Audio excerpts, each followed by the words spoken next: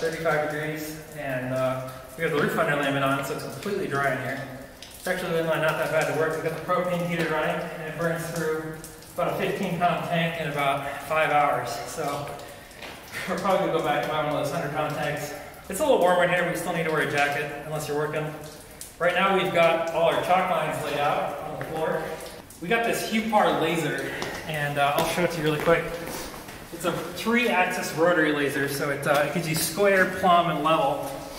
And all you gotta do to turn it on is flip this little switch, and uh, unfortunately it defaults to just doing horizontal level, but there's all three. And if you look at the laser lines, uh, you can actually see how much it's gonna help me make square walls. So it's really good for squaring stuff up. It reveals where you're off right away. It's crystal clear. You can see bows in your, your door frames. You can see, it marks the, the floor location on the floor and then the, the same point on the, the roof joists or trusses. And so it's really easy for standing up walls and getting them plumb. If you're a DIYer, I definitely recommend getting one of these. It's about 170 bucks and worth every penny. So uh, after we got that done, we got all our, our chalk lines squared up and to their dimensions. Uh, it flashes at you if you if it can't find level. We're laying out our, uh, our plates. So this is kind of the first step of framing. You, uh, you kind of lay your lumber down. We have a bottom plate that's uh, pressure treated because anytime you're on concrete, it has the potential to uh, wick moisture up and it'll rot out uh, lumber, so you're supposed to use pressure treated. Some people like to use a sill sealer. It's a plastic uh, foam that you put below your, your bottom plate and gives you extra protection. We have a vapor barrier down, so I'm not going to use that.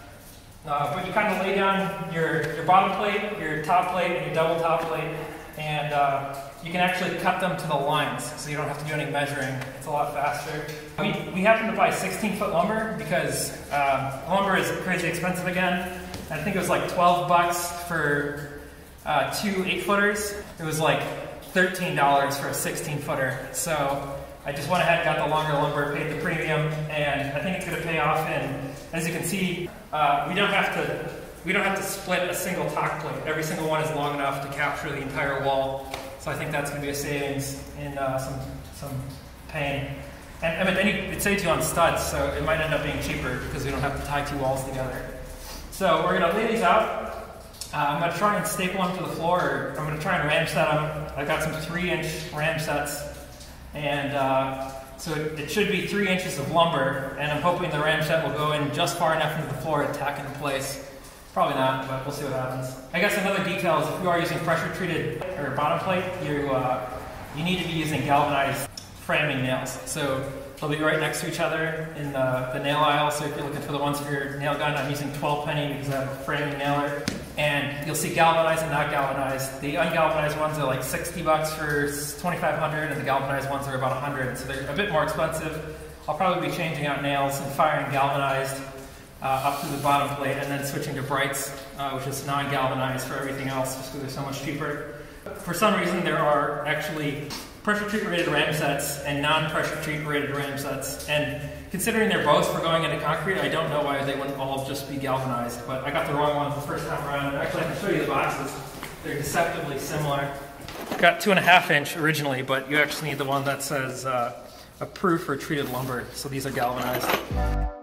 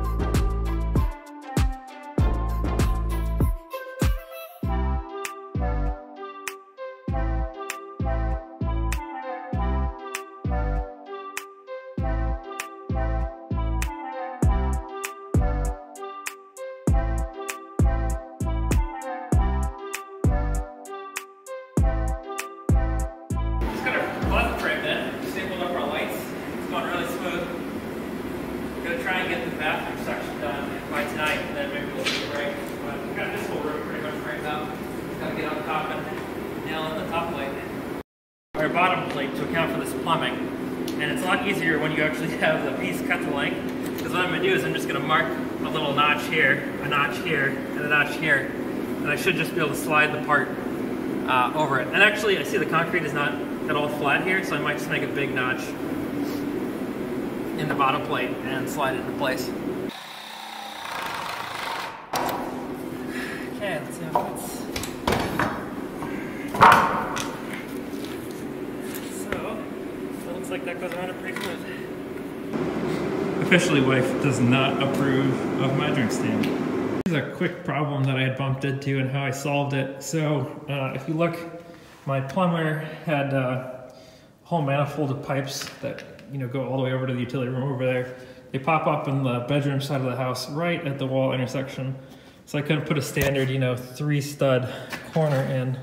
I had to get a little creative, and uh, I use this technique that's, I guess, a lot more common in advanced framing, where you put these kind of uh, cross pieces in to build the corner, and that lets you tack drywall to that.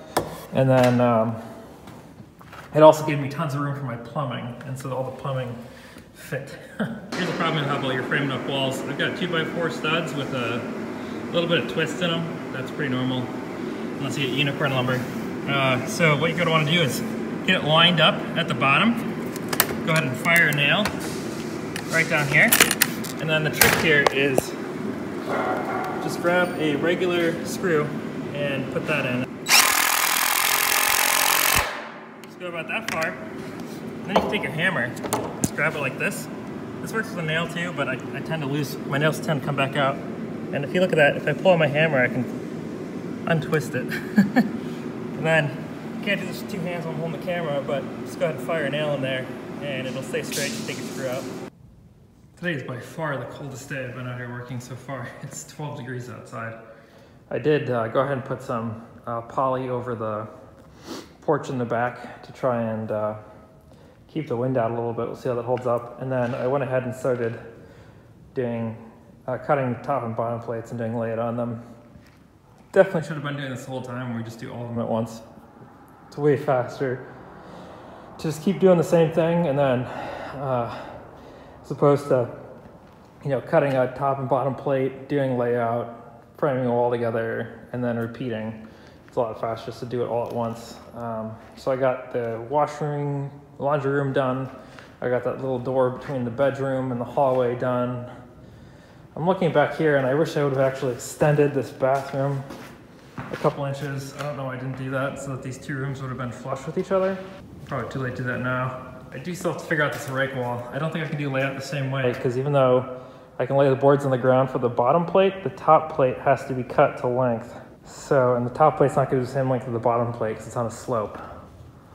I think what most people do is they lay out a template on the floor, and so I'm kind of looking for a space big enough that I can lay out a full-size template and start framing up these rake walls because there's quite a few of them. There's this full-size one from the edge of the utility room to the front door, then there's a handful of these little half ones that go from one side of the utility room to the wall.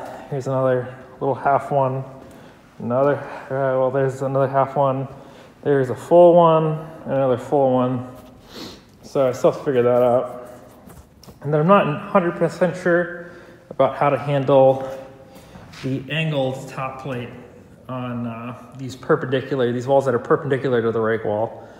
Because uh, if you think about stacking two by fours for the top plate and then the double top plate, um, it'll kind of like, they come off at an angle. So it's like, how do you handle that? Do you like offset them so they're roughly straight, but then you still like, drywall can't butt straight up against that. You need to like bevel it. So I've got to look into that a little more, figure out how to do that. I kind of been dreading getting these rooms started just because I, I don't entirely understand it yet. So I think once I get going, it won't be a problem, but especially once I do a full size layout on the ground. But that's why I've been putting it off. but other than that, I meant the it's the end of Christmas break. I go back to work tomorrow. Today is Monday. We get uh, the third off because actual New Year's Day was a, uh, a weekend. But I got done what I wanted. I mean, I got this whole half of the house framed, pretty much. I'll come back tomorrow night probably and, and put all these walls together. And uh, that's where I'm at. So we got the two bedrooms. Here's another bedroom with a closet. You definitely can't see it at all. It's the camera, something about the aspect ratio or the what is it, the focal length. It just looks like a big forest of studs. But in real life, it, it's pretty crazy because I'm, I'm walking through rooms right now. Got our bathroom. This is our bedroom bathroom. We have three bathrooms. We have a master bathroom, a small toilet in the public half of the house for the guest bathroom, and then we've got like a bathroom for the bedrooms. So you kind of walk in here. There'd be a big vanity here, so with like a double sink, so you can, you know, brush your teeth and all that stuff. And then there's a door that actually separates off the toilet and the bathtub. So somebody could be taking a shower while someone else is you know, putting their makeup on or whatever, and uh, or using the toilet. And then the master bathroom is kind of the same way, where uh, it's all the way out here. So now I'm in the master bathroom. There's gonna be a vanity back here against this exterior wall. Uh, there's gonna be a tub in the corner there. We're gonna have like this awkward corner over here where we're thinking about putting cabinets, but it depends on how far this vanity comes towards the cabinets. It's kind of poorly thought out on my part. Guess we could turn the tub the other direction, but then if the vanity's like here, it's kind of like awkward to like step side step into the tub. But it's also awkward to like use it as cabinet space. So kind of gotta figure that out. And then it's got this little tiny room here for just the toilet, which I think is cool. I always kind of like these little rooms. So I got that. half our house is half one third of our house is literally garages, and then of the livable space, like half of it ended up being bathrooms. So I guess that's what you get when you design your own house. Not the most intelligent layout. If you look at some of my doors, the top of the jamb is actually at a different height. Uh, when I first started, I, you want an 82 and a quarter inch uh, high rough opening for the door.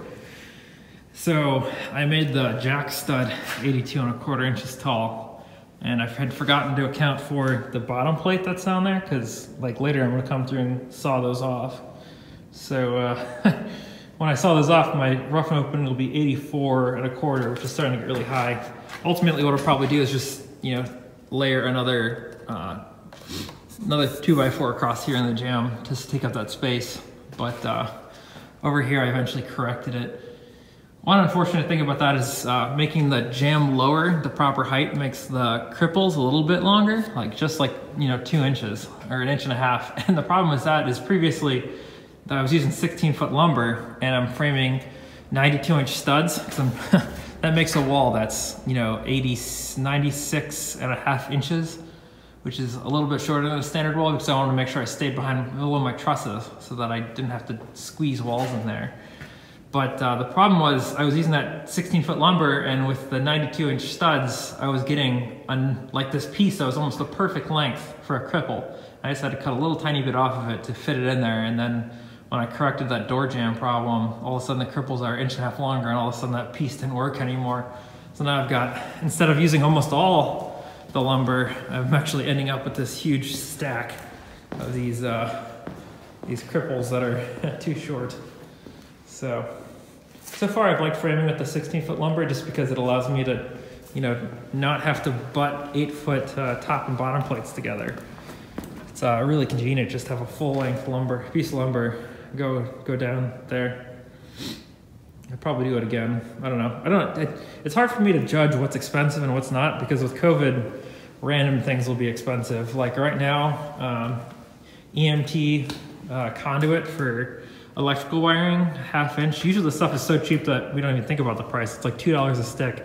And right now it's like six or seven bucks a stick. And it's like, geez, like you have to actually decide whether or not you want to use half inch or three quarter because the price difference is just the difference between seven and $10 a stick. And it's just, it's nuts. And you know, if you hadn't done electrical for all the time in the past, you wouldn't know that those prices are crazy. But, uh, and, and in the past, you, you you wouldn't you just always use three quarter because it's just more convenient to work with but you know i don't know it's it's nuts and, and maybe it's with lumber where 16 foot is crazy expensive normally or maybe it's not and it's just not a huge cost increase over getting two eight foot sticks but right now it's like a dollar extra to get the two eight footers. It's a single 16 footer. So I've been paying that premium to make my framing go a lot easier.